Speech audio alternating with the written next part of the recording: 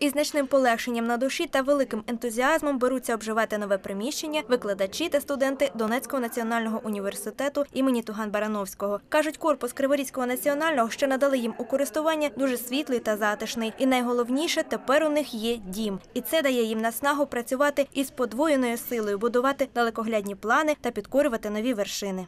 Начинаем уже обживаться. У нас пошел нормальный, планомерный образовательный процесс. Мы начинаем функционировать как национальный университет, как украинский вуз, который всегда на протяжении 95 лет предоставлял качественные образовательные услуги. Самый главный проект на будущее, который будет реализовываться, это 5 апреля, 11 часов утра, День открытых дверей. Мы приглашаем всех желающих, которые хотят стать либо экономистами, либо товароведами, технологами питания, либо обучиться экспертизе в таможенном деле, прийти к нам и понять, что, скорее всего, Донецкий национальный университет экономики и торговли – это их выбор.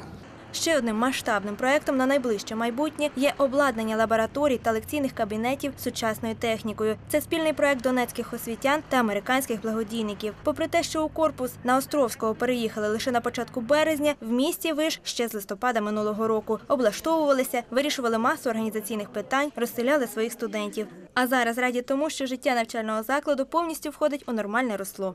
В этом городе филиал нашего вуза работает уже больше э, 12 лет, поэтому с Кривым Рогом мы знакомы, но э, познакомившись близко, мы убедились, что тут живут очень дружелюбные, приветливые люди, которые могут э, помочь в любую минуту, и даже в такой сложной ситуации, которая у нас сложилась сегодня, э, ну, можно так сказать, предоставить после, последнюю рубашку. В городе Кривой Рог э, обосновались основательно, поэтому мы тут планируем остаться навсегда. Большие планы на будущее. Мы э, хотим э, развиваться. У нас планируется открытие второго корпуса.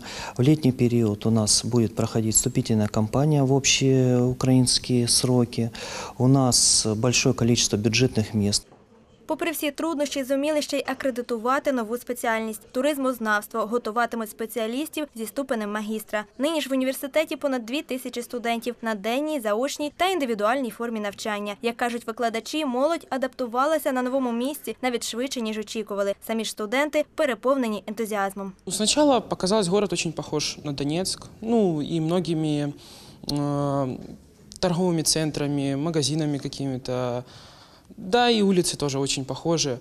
А сейчас более или менее уже обжились, начинаешь понимать, город достаточно красивый. В ближайшее время будет э, научная конференция во Львове. Пока еще только в разработке тема, но как напишу, э, отправим тезисы во Львов и поедем участвовать на конференцию. Недавно у нас прошли выборы главы профкомитета вуза, главы сту- студрады и также всех комитетов наших институтов.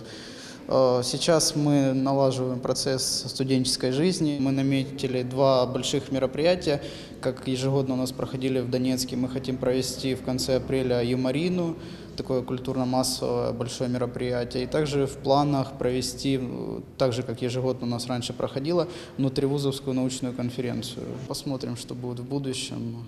Ну, я надеюсь, что все в нашей стране наладится в будущем, и я буду вернусь в свой родной город Донецк, и там тоже мы будем все налаживать и дальше строить нашу страну.